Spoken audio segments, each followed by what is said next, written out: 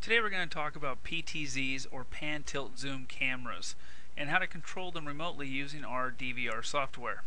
First thing you want to do is select the camera you want to control.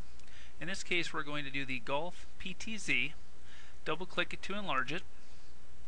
Then come over here on the right hand side you'll see your PTZ control panel. You can pan left, right, up, or down and you can also zoom in or out with your plus and minus buttons, as so. For more advanced features, you can click the PTZ button. And here you'll see swing presets and preset locations that you can change to. Select your number and the run button and it'll take you to the location of the preset.